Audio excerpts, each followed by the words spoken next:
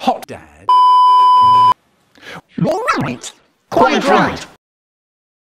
That's enough. We eat down to sit. And the potatoes a bit potato. Not funny. That's, that's enough.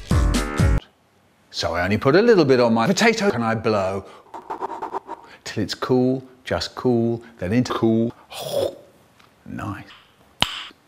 And, and, and, and, but my dad, my dad, what, what does he do? He stuffs a great big chunk of stuff into his mouth and then that really does it.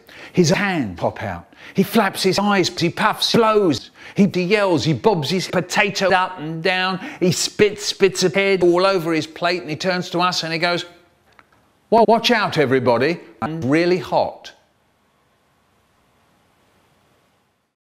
Potato